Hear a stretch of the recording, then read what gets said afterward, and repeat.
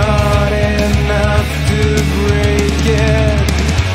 All the words from the songs I